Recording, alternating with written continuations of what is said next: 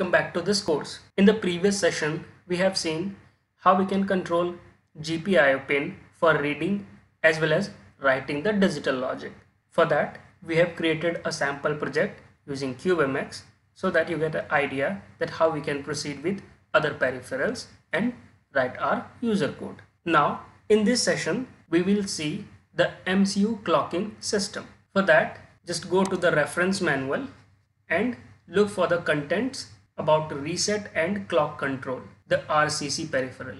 If you remember, while configuring the GPIO, we have enabled the RCC as bypass clock source. I'll explain what is bypass clock source and why we have enabled it later in this session. Clocks are important component of a microcontroller because without clock nothing will work. Since microcontroller is a digital circuitry that is synchronous in nature. Now synchronous with respect to what?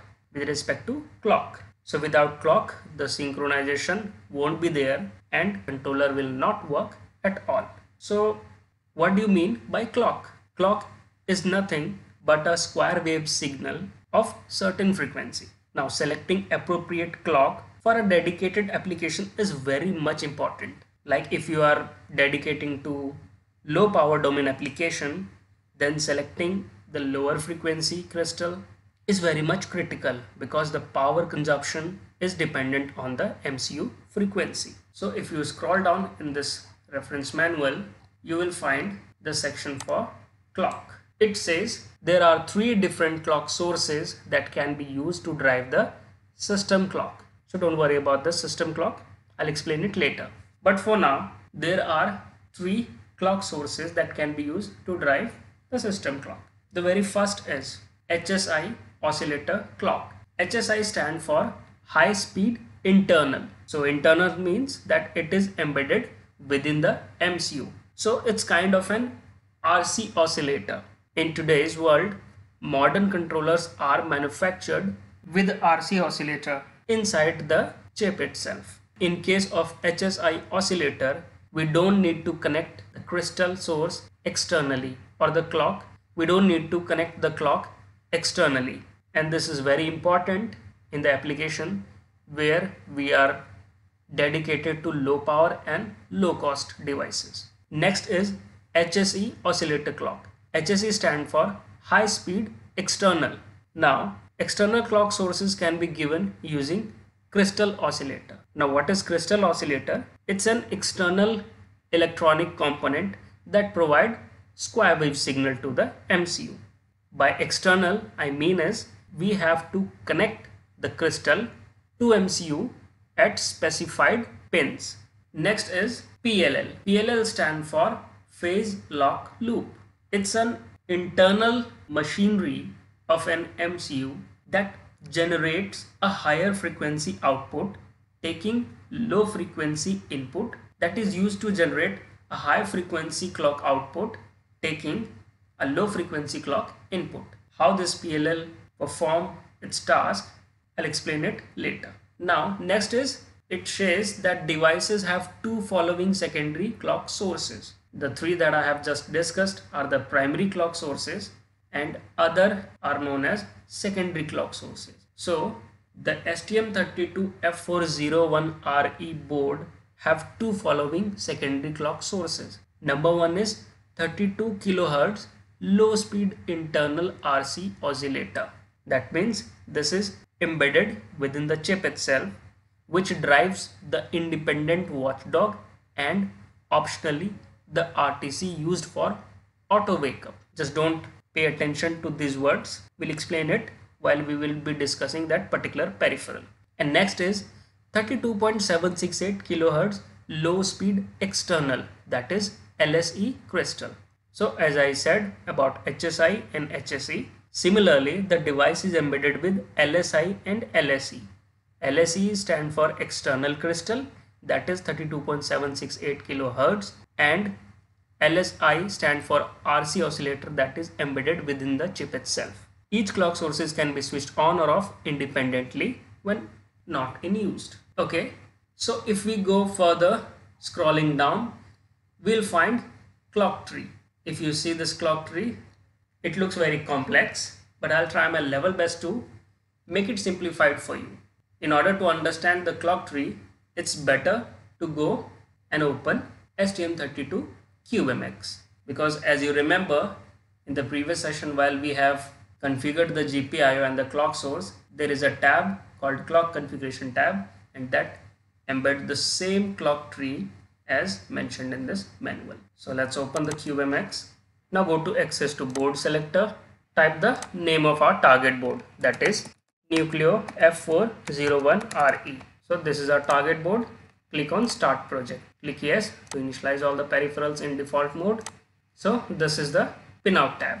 Just don't make any change. Come to clock configuration tab. So if you see this tab carefully, you will realize that this clock tree is exactly a replica of this clock tree that is explained in this reference manual. Okay, so if you have a look that there are three sources of clock as mentioned in the manual that is HSI and if you traverse the path then HSI is coming from HSI RC oscillator that is the oscillator embedded in the chip itself. Now the maximum frequency of this RC oscillator is 16 megahertz. Next is HSE that is high speed external and if you traverse this then this is connected to two pins and by this the external frequency can be connected. That means an external crystal can be connected to these pins and supply the clock source externally. 1 to 50 megahertz. Next is PLL clock. So as you can see, the PLL clock takes the source as HSI or HSE, divide and multiply with certain numbers called as prescaler multiplier in order to generate a dedicated frequency required for system clock or the hardware clock. Okay. Now, all these three clock sources are connected to a system clock multiplexer so that only one clock source at a time can be selected to drive the system clock. Now what is system clock? System clock is the main clock of MCU and by this system clock we can drive the clocks for other peripherals as well as external circuitry. If you are confused, let me give you a beautiful analogy for this and the concept will be more clear.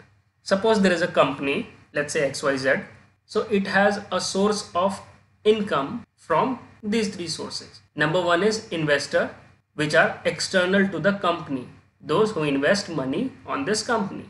Next is sales, that company generate money from its sales. Sales is an internal department of a company. And third one is money multiplier. Let's say company has a plan in which money is spent and multiplied to give it a higher amount of money. And the money that it gets from these three sources get spent over the department like R&D in giving salary to the employees, somewhere in charity and etc.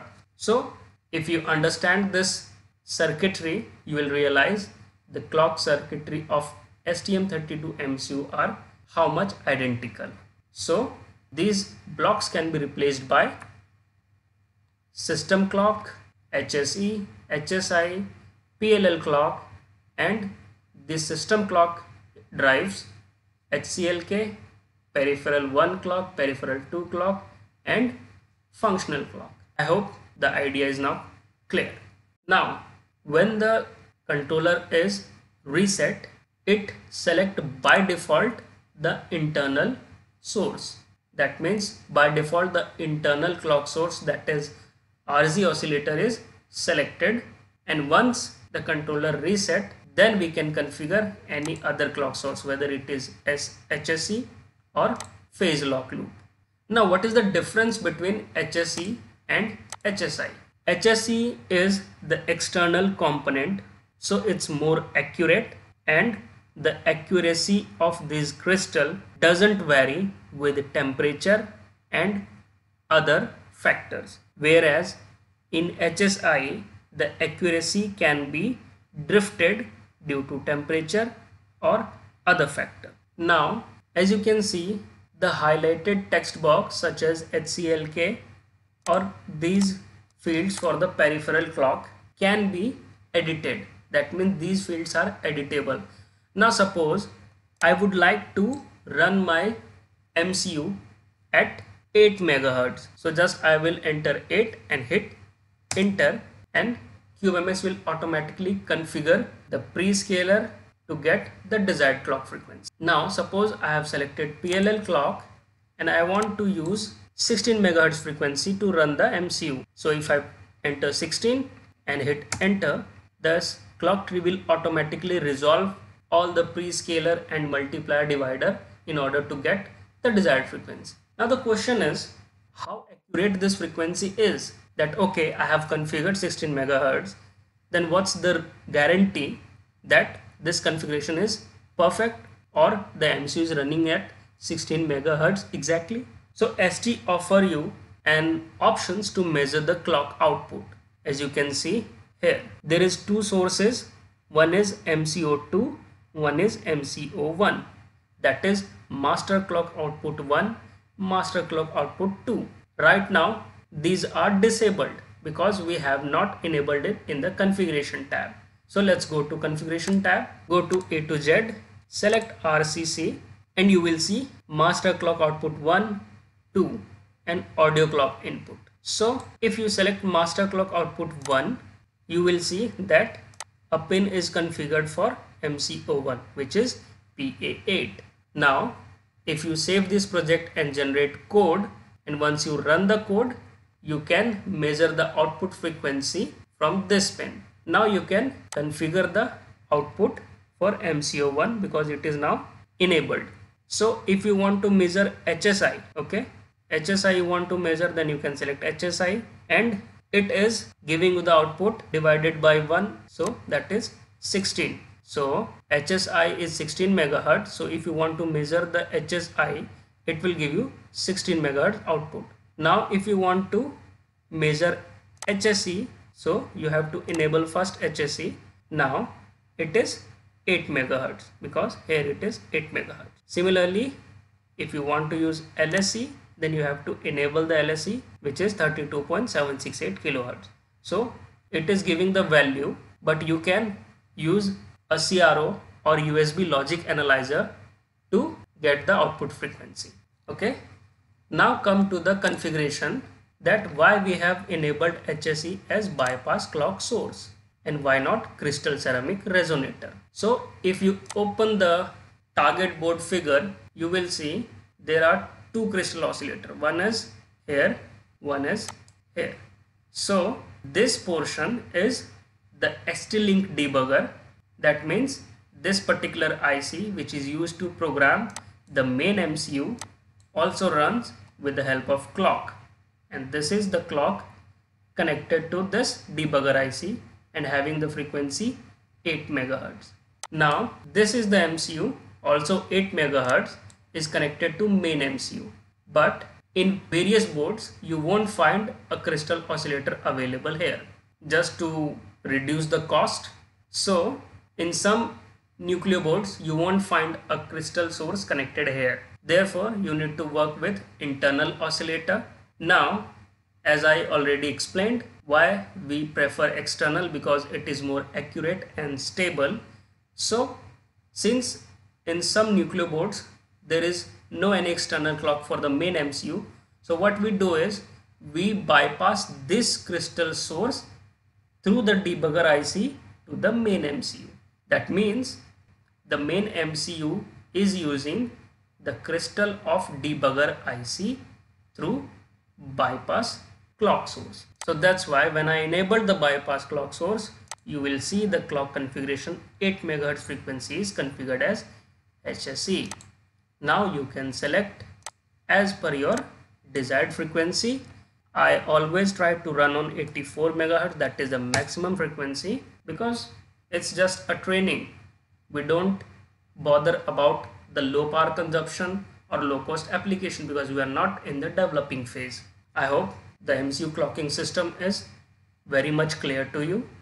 In the next session, we'll discuss about this ST-Link debugger that what are the features of this ST-Link. That's all for this session. See you in the next one. Thank you.